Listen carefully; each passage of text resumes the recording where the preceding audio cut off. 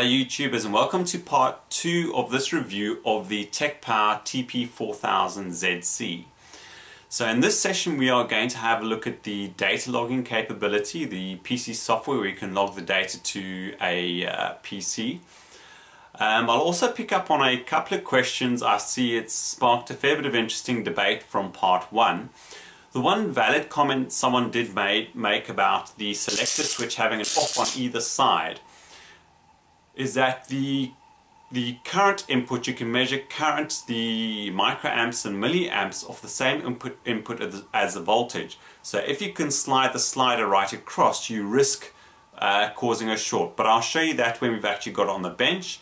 And then after I've showed you the software we'll have a look at the battery consumption to see how long potentially the batteries would last if you are going to leave it to do some data logging. So let's have a close look at the software on the bench Right, so here we go. You'll have to excuse, unfortunately, when I have the camera in this position, does sometimes pick up a little bit of interference from my LED lights. Um, I'm going to try and correct that in the future. But let's get down to what we've got sorted out then. The software installation was very straightforward onto my little portable PC. It does come with a, a helpful uh, PDF file. It is not the best English, but it's still not bad and explains lots of ins and outs of how to set up the monitoring software. So I've got the USB to serial uh, converter. The little plug is in there. It's got this very lightweight cable obviously to that kind of 3mm stereo jack which goes into the RS-232 port by default when you switch the meter on it, it switches on the RS232 icon on the screen there so it's ready for data logging. What you can do is when you data logging I'll show that. When you switch put switch that off then it stops data logging. So you can you can intermittently switch it on and off from this button over here while you're logging. The software in my mind and I'll, I'll show you it now is rudimentary but very functional. So this is obviously its main screen. It's got this digital display up here. It's got an analog display up here. You can go and switch off either one if you uh, just want only one displayed. It's then got this list and graph buttons over here. So we hit the list, it then you can actually see recorded values down the side here. I'll bring you in a little bit closer to see that. So you've got, it'll record the values in a list down on the side here and then you've got the graph as you can see pops up. You can adjust the scale, the scaling on the graph automatically. Uh, well, when I say automatically, you go into a setup and you can configure the axis of the graph. It doesn't auto scale. But in my mind, I prefer that because I've got other software which auto scales and you can't adjust that and then you cannot it's very irritating because you cannot see the whole graph or what's going on. So I prefer the manual option. Right, so as you can see, we can go into the options. You can obviously configure the COM port. You can click on um, configure, which is where you can define these settings here define the ranges that you want to display on the graph, so in terms of setting the scale, and whether you want to do millivolts or, or volts. In temperature here, you can see even though um, on the multimeter itself it does Celsius, you can uh, select Fahrenheit here to record Fahrenheit. And obviously you can do resistance, frequency, capacitance, and current. You can also specify down here the, the size of the file. Then you can also obviously set it just to take one recording. If I switch off that and, and the recording and just push begin, then it immediately displays what's on the screen of the multimeter with no recording. If I then stop that, click on the record, you've got this continuous button here. If I don't put any info down in here in the time and the sampling interval, it'll just record, it'll take a, a value every uh, twice a second uh, indefinitely for as long as you've sized that file. Or you can specify the amount of time you want it to run and the number of when it's got to take an interval, which is brilliant. So you've got that flexibility. So let us push begin. As you can see, as soon as you push begin, the list starts collecting data at the back, and obviously you can um, move, uh, click the button so that that isn't displayed. We've got the graph. What I'm going to do, I've got set up a group of super, uh, super capacitors here with some LEDs. I'm going to switch on my power supply and we're just going to monitor the um, voltage build in those supercapacitors. So right, I've switched on the, the power supply. And as you can see, it's updating obviously immediately, instantaneously from the meter.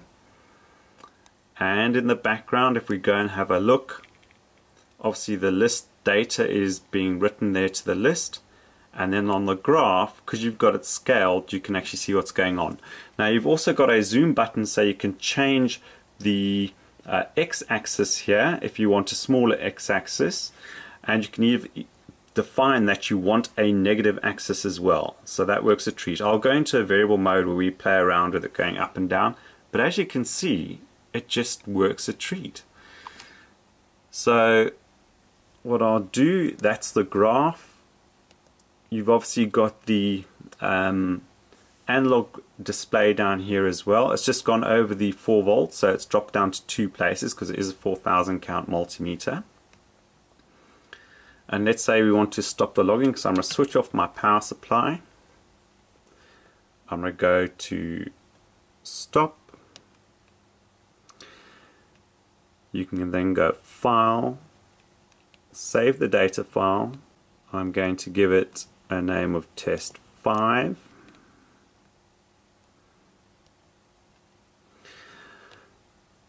and you can go and pull back and open up any previous data so that it's displayed in this format and on the list and the graph which is really handy. But of course the most powerful straightforward thing here are the files. And if you double click on them they are CSV comma delimited so you can easily pull these into Excel date stamped and indexed on the number of readings. So what a gem. Then the other really handy thing is that at the bottom over here it is recording min-max average. So I'll just again I'm gonna start things up again. Hit begin. And at the bottom here it's recording min-max average. So that's nice. You've always got that information at the bottom. And if you want, they say the instructions are that if you double click with the right button, it resets it. So you can see if you wanted to reset it during your during your recording, it's as straightforward as that. So rudimentary, but it's got everything you need, in my opinion, to do some really handy data logging. I I really, really am impressed. Right, so the one thing I wanted to check myself, which could be quite um, handy is if you can run two separate instances of the software. So bang, and here we go. So if you've got two, you could have two of these multimeters, and this is something I used to do with my more slightly more expensive Brymen multimeters. You could then go here and set this to a different COM port and record multiple readings.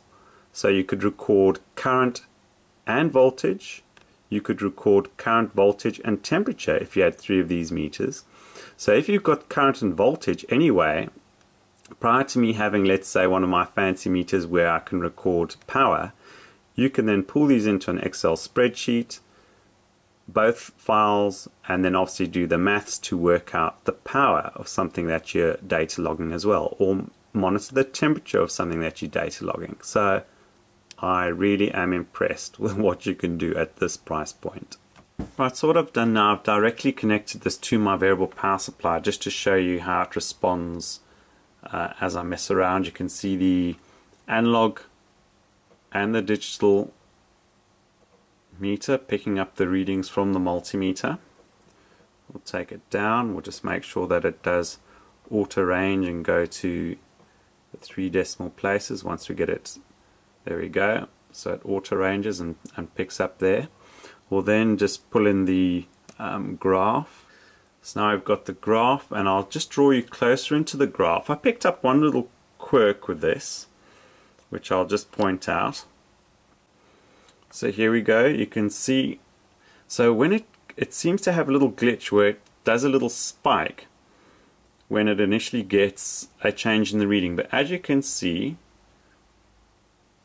after that, it's taking the readings and, and graphing them. And I said you can scale that to uh, being closer or what have you. Really, really handy. Let's take it up high, come down low. So I think there might be a few bugs in this graphing software. But for the most part, let's just start it again.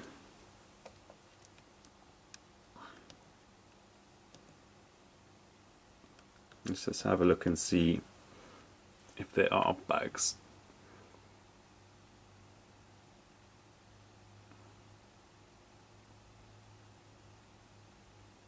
So there we go, taking it up.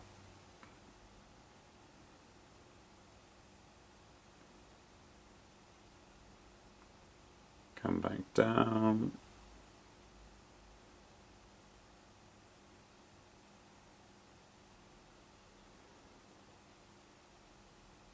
I'll let it go straight for a while and then I'll just do an increase and this is where I think there's a little bit of a bug in the software. No, it's behaving now. It was doing like a little spike in the data. But there you go. For the money, I don't think you can complain at all. Right, so what I want to sh show you here quickly is just how you can kind of switch off the comms while you're logging. Uh, what I'm going to do, I'm going to stop stop the comms. I'm going to pull up the list that's got the data which is already captured. If I now hit begin, you'll see it's creating a list there of the values and the timestamp. I'll just bring that to the foreground. If I hit the RS232 button, like I just have now, it then stops sending signals to the multimeter. You will see here it's at 388. Here it's the voltage has dropped a bit. I'm just monitoring the supercapacitors. And then when I switch it back on again, it picks up straight away and continues the logging. So that, so that little button, the RS232 button over here, just allows you to stop the, the logging intermittently if you didn't want to capture something and then to immediately start it again. So I just want to show you that functionality. Right, so I thought I'd just quickly show you, this is obviously the uh, serial cable that comes with it. Um, initially when I thought it, it, it, seemed maybe a little bit flimsy, but it's not. I mean, the, it's one of these, it's not a molded connector, it's one of these um, normal 9-pin RS232. And the nice thing about having a lightweight ca uh, cable like this is that it's not going to disrupt the multimeter when you've got it plugged in. And this, because it's such a simple cable going to one of these, you could easily work out what, I mean, there's two wires going to obviously two da data pins in here. You could make one yourself, which was either longer or more robust if you really wanted to. Then there was chat, uh, retired caps came in and mentioned about there were some reports people were saying that they were struggling to install the, the drivers and, and had issues I think now um, I said it was very straightforward for me. Um, but I think for the most part people have a problem with these um, serial to USB converters which isn't obviously part of the package. You need to buy this yourself. So I think once you've either have one of these existing or have that installed okay, which has got nothing to do with the meter, then it should all work fine. I already had the driver for mine installed, so I plugged it in, it sees it, I connect to the serial cable, and it all works fine. Now just again to highlight the issue which was being pointed out, and I think a very valid one because I've highlighted this with cheaper meters, is that your micro and milliamp is on the same port over here as your voltage. So there is a risk that if you've got this plugged in and you are measuring uh, a voltage, now I will highlight that in the instructions it does says do not change the settings while you got measurements. So if you're being careful and understand the instructions, then you shouldn't do that. But we're human beings and it's a natural thing. You might be measuring a voltage. So if you're over there measuring a voltage and you go to move it around that way to switch it off, you're going to bipe, you're going to go past the current, and if you've potentially got a high enough energy on this side, you're going to cause a short. It should blow the fuse, but something bigger might happen. So there is that risk. What I am going to do now, I'm going to connect this up to mains just to measure, make sure it can actually measure mains voltage without, without anything going wrong. I did read in the instructions, it says it's frequency measurement. Um, you can measure up to only 50 volts. So I debated, I don't really want to kill this in this review, but um, it does say it's got protection up to 250 volts, but I'm not sure. You know, I've, I have pre previously killed one of these cheaper meters by doing that. It does always also specifically mention that you must not click past the resistance mode while you're measuring um, mains or what have you. So again, it's just good practice. If you're measuring, you want to first select the, the measurement you want to go to and then apply your probes and then come off before you make any changes and make sure that you're in the right sockets. But let's measure mains and then we'll measure what the uh, consumption is on the little battery, uh, Penlight batteries. Okay, so I have a bit a special uh, power strip which I've got set up uh, with leads that come off that so I don't have to try and jab the test leads into precariously into the PowerPoint. As you know, I don't like playing with mains. So I've got that on. I'm switching on the multimeter. It obviously by default it's sitting in DC volts. So in theory if I push that button, there we go. It's showing you our mains voltage.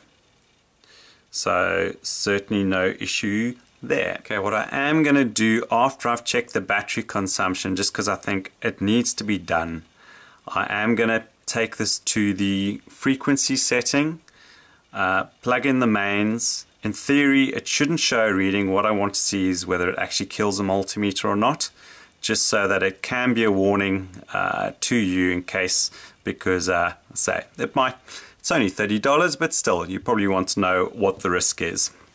Right, so the first test I'm going to do is to check whether the low battery warning on this comes on adequately before the readings go out. So what I've got, I've got it connected to my 5 volt reference. So it basically we want to ensure that it, it maintains a stable reading right until the point where the low battery warning comes on. My Fluke 287 here is measuring the what the power supply is feeding it because I'm obviously feeding it with my variable power supply. I'm going to drop the voltage to see how well that works. What I'm going to do, I'm going to bring you in closer so you can have a look at both those displays. In particular, what we want to see is the annotation when the annotation comes on. So right, I'm going to start dropping the voltage. I think in the instruction manual it says around 2.4 volts.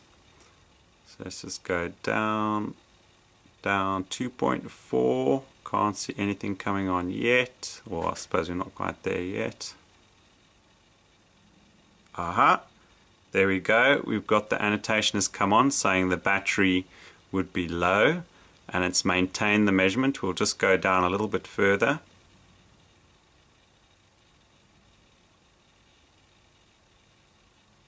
See where it actually drifts.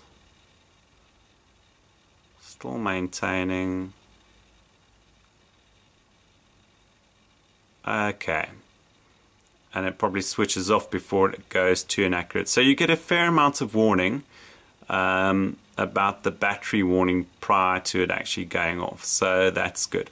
Okay, so next we'll see how much current this actually uses. Right, so I've got my Fluke 287 ready to measure the milliamp consumption as I switch this on.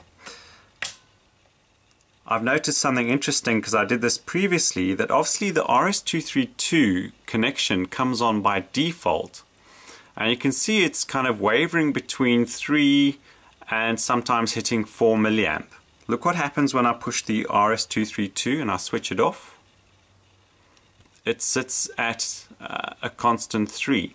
We'll switch it around the range so let's just see what happens when we go through the various settings. Okay, 3.1 2.9, 3.7 if you're measuring temperature,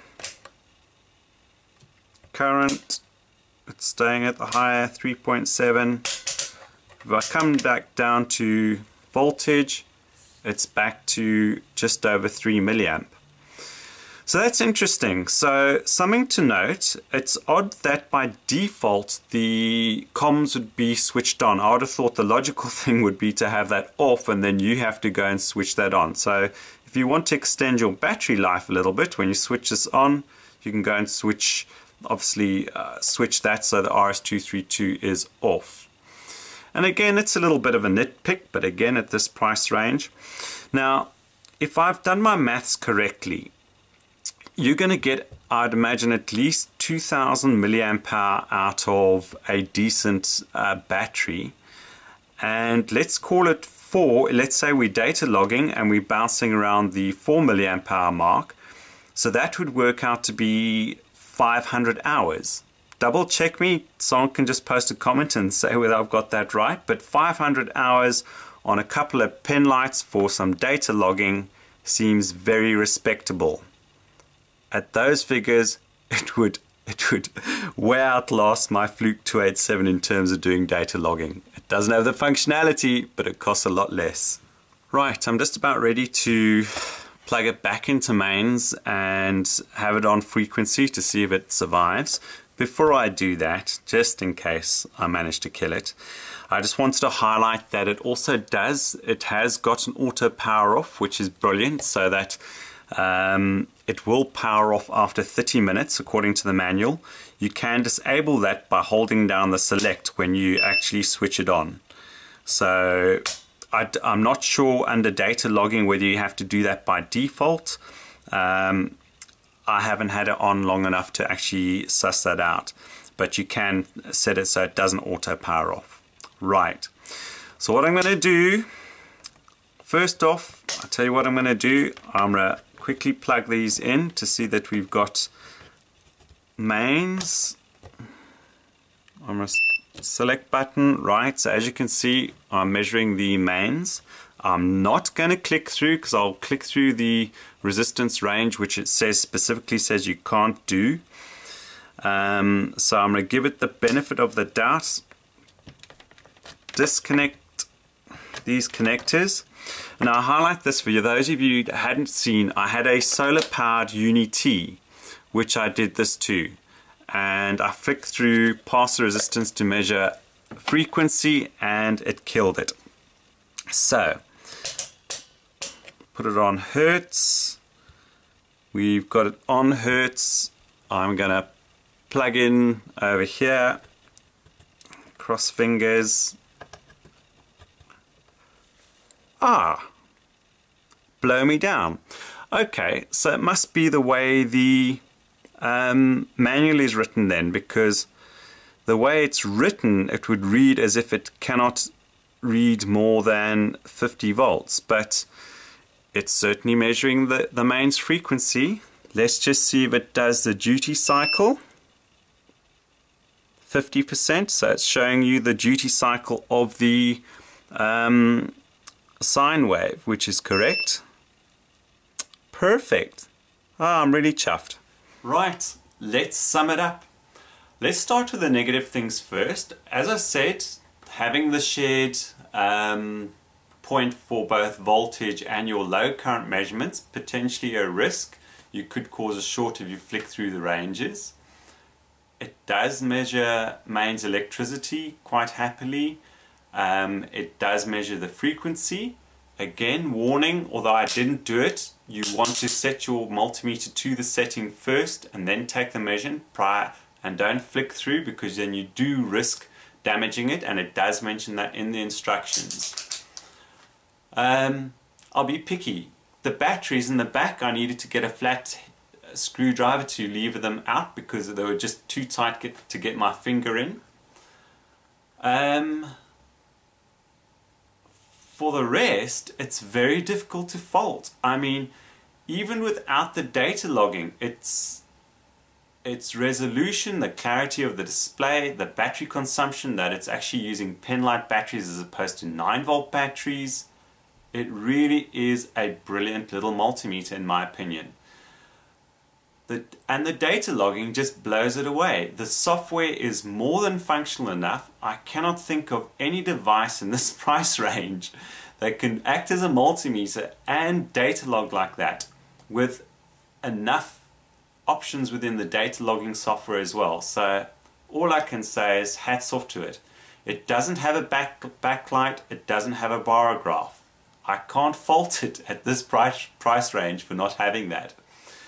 Does capacitance, temperature, frequency, and the data logging. It's a gem in my opinion.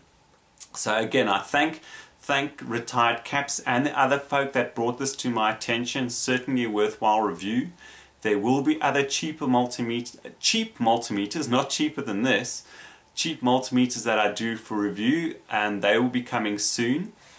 Um, I have thanks again to everyone who's supporting me through my Amazon store. I will have a link to this in the details below. I know already. Thank you, someone who's already buying one.